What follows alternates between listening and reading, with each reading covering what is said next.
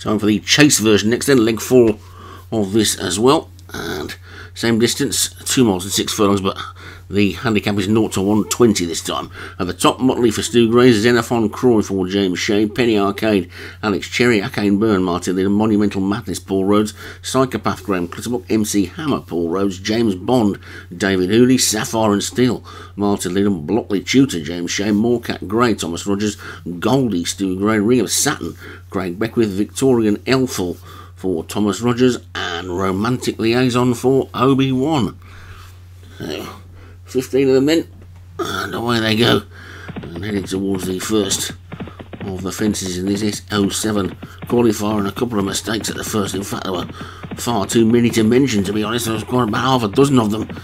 Gave the jockey a jolt, but it's Blockley Tutor who's in the lead, pulling for its head, wants to go on, being chased by Victorian Elful, then James Bond on the outside of Akane Byrne and Sapphire and Steelers. They get over that one, and they all jump that one a little bit better with Psychopath just about the back marker at this early stage. They've got 12 more fences to take, that'll make up 14 in all. Not just the one grey again, that belongs to Stu Gray in this one, I think it's called Goldie, but it's Victorian Elful who will lead them round this turn with a lead of about two lengths. With Penny Arcade just about showing second, but now Xenophon Croy and Akane Byrne have overtaken that one. Then James Bond on the outside in the purple jacket. The one widest of all is Muttley, so we've got some interesting characters in this, haven't we? Muttley and uh, James Bond.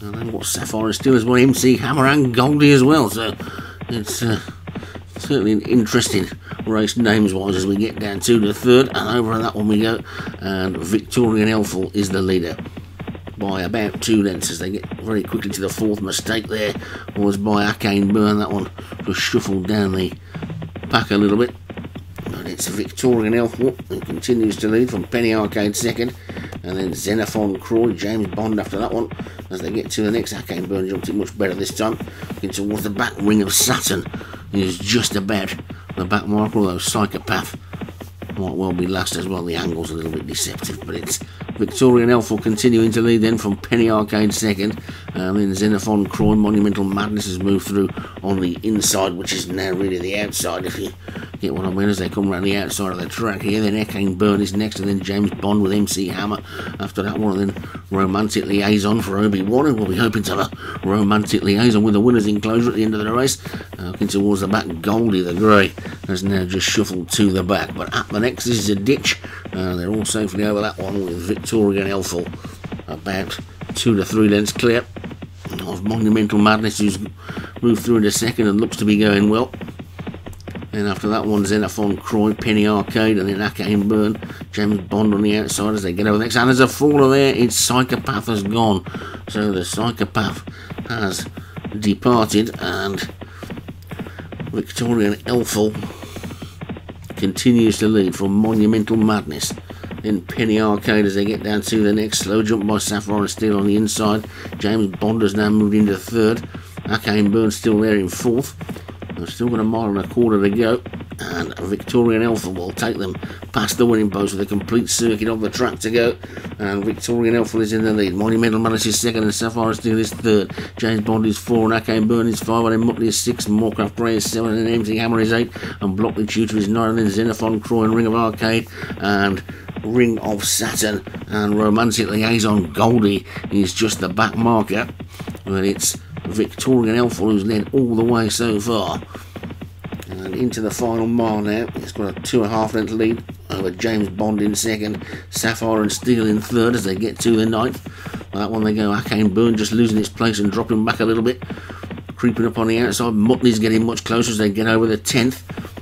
And it's still Victorian Elful though who's going nicely in the lead. Moorcat Grey at the back, so top and tail in the field, that trainer.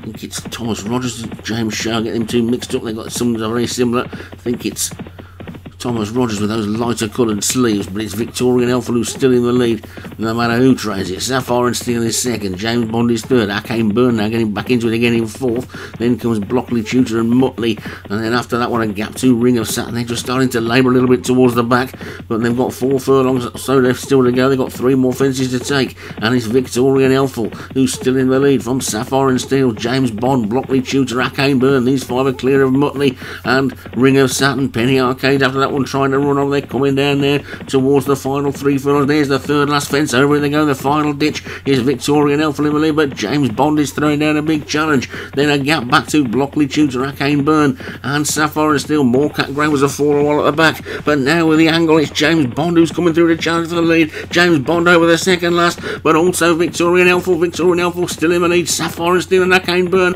are closing. So's Blockley Tutor, Muttley on the outside. They're coming down towards the final fence. James Bond on the outside of Victorian Elful. Sapphire and Steel back in third. Over the final fence they go. It's still Victorian Elful in the lead from James Bond. Sapphire and Steel's in third. Muttley's trying to run on the outside. James Bond trying to wear down Victorian Elful who's led all the way. Victorian Elful trying to hold on. James Bond lunging up the line. It's close. It's very close. It's really difficult to tell. The angle will be quite strange as well. But Victorian Elful certainly deserves to win, having led all the way round. And I think he has done. James Bond second, Sapphire and Steel third, Muttley may have got up for fourth. Now let's take a full look and confirm the result because that is by no means certain. It could be a dead heat. It's a win for Victorian Elfin and Thomas Rogers stayed on grimly, it said, and it certainly did. James Bond for David Hooley was second, Sapphire and Steel for Martin Lydon was third, Muttley for Stu Gray was fourth, and Arcane Byrne for Martin Lydon again was fifth.